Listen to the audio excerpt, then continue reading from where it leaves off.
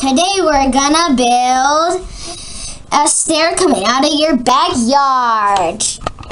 So you're always gonna need four by fours or any size and just stack it up like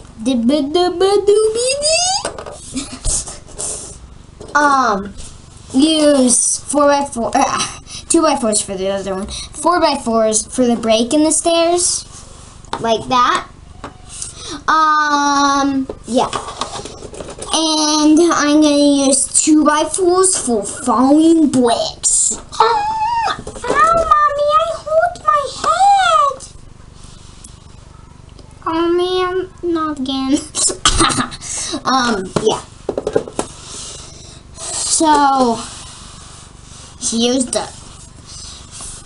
um thing to the ancient castle.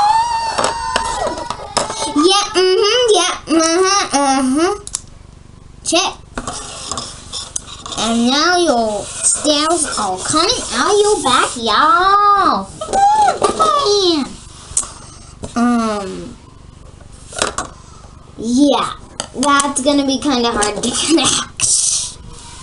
Um, yeah. So just put any color under. And here's a little lounge spot on the backyard. So, yeah.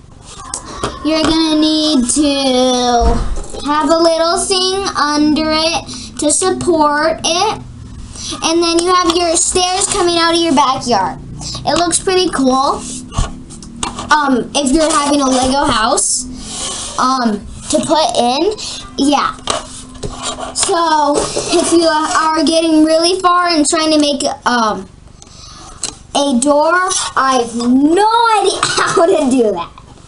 Um, so I'm just gonna put wiggle a wiggle lamp, and then wait, there's a door.